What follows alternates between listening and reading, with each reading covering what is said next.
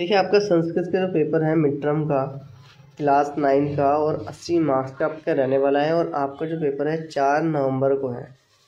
ठीक है date sheet आ गई है, आपने देख लिया होगा। और मैं आपको बता दूँ कि ये जो संस्कृत का पेपर है, ये आपके लिए प्रैक्टिस के लिए और पूरा जो पैटर्न है ना, पूरा पैटर्न ऐसे ही रहने वाला है आपके मिड टर्म में। तो अगर आपने पेपर कर लेंगे तो आपको पूरा पता चल जाएगा किस तरह का पेपर आएँगे, किस तरह के क्वेश्चन आएँगे और सबसे पहले तो आपको बताइए कि एम आएँगे। तो अगर आपको नहीं पता तो मैं आपको बता दूँ, जो आपका सेक्शन वन होगा, उसमें आपके एम होंगे और एक एक नंबर के होंगे और आप अपने जो एन टी की बुक है, आप उसको पढ़ लेंगे अच्छे से सारे चैप्टर ठीक जो जो चैप्टर हैं, जो जो से आपके सिलेबस में आ रहे चैप्टर वो पढ़ लेंगे। तो उसमें क्या होगा कि आप आराम से फ़र्स्ट जो नंबर वाले क्वेश्चन है आराम से कर लेंगे। ठीक है। और ये जो पीडीएफ आप देख रहे हैं, इसका लिंक मैंने डिस्क्रिप्शन में डाल दिया है तो आप वहाँ से भी डाउनलोड कर सकते हैं, अगर आपको पीडीएफ नहीं मिल रही है कहीं से, ठीक है। और इसके सोल्यूशन की वीडियो मैं डिस्क्रिप्शन में डाल दूँगा, जैसे उस पर क्लिक करेंगे तो आप उसको सोल्यूशन मिल जाएँगे, ठीक है। तो जो बच्चे बाद में देख रहे हैं तो एक बार चेक कर सकते हैं सोल्यूशन की वीडियो और पेपर आपका ऐसे पैटर्न आएगा पूरा सेम ठीक है। तो इसके मार्क्स भी जो है नंबर जुड़ने हैं आपके ये मत सोचना कि मार्क्स ये जो पेपर है, ऐसे हो रहे हैं। इसके आपके मार्क्स भी जुड़ेंगे, ठीक है? फाइनल टर्म में पूरे।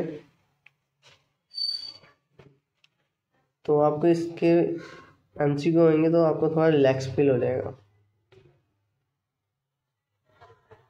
और ये पेपर मैं इसलिए पूरा दिखा रहा हूँ क्योंकि बच्चे कमेंट कर रहे थे, सर, हमें पेपर पीडीएफ डाउनलोड नहीं हो रही है, कुछ नहीं हो रहा। तो जिनका नहीं हो पा रहा तो यहाँ से वो देख सकते हैं।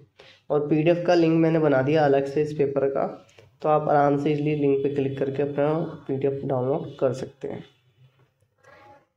और मैंने सारे सब्जेक्ट का डाल दिया है, ठीक है? तो आपको प्लेलिस्ट मिल जाएगी, डिस्क्रिप्शन में आप वहाँ से देख सकते हैं।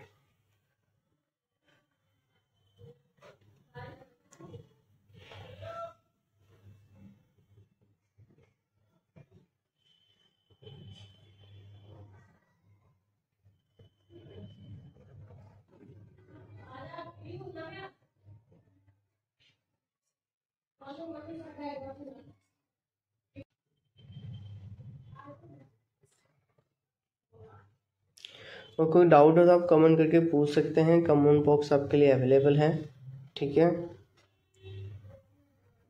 कोई भी डाउट हो तो पूछें कमेंट में।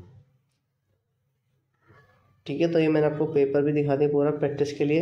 तो आप अपना पूरे अच्छे से तैयारी करिए और इम्पोर्टेंट क्वेश्चन जैसे आएँगे वैसे मैं आपको प्रोवाइड कर दूँगा। उसके ऑफिशियल आंसर जैसे आएँगे, वो भी मैं आपको पी में दे दूँगा जिससे कि आप आराम से अपनी तैयारी और अच्छे से कर सकें, ठीक है?